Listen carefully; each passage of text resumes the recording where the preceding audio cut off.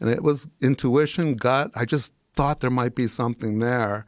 And sure enough, I eventually found it. It was correspondence between Jolly West and Sidney Gottlieb, the doctor that ran MK Ultra, beginning in 1953, about conduct, conducting experiments on people without their knowledge to get them to uh, have amnesics, uh, uh, amnesia of the acts uh, after they were programmed, and uh, everything that he had been accused of and denied, he did. Not only did he do it, he created the blueprint for the whole program with Gottlieb.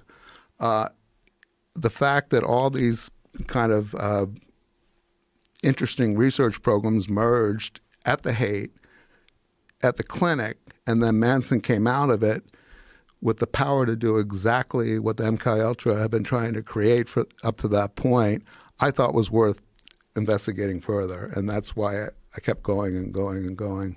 They did a lot of crazy shit back then. Are you aware of Operation Midnight Midnight Climax?